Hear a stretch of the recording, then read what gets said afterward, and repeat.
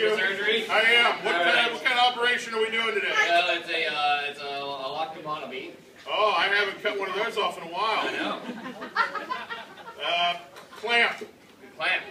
See, first thing you do is you clamp the, the lockta. Freeze! Disney cartoon.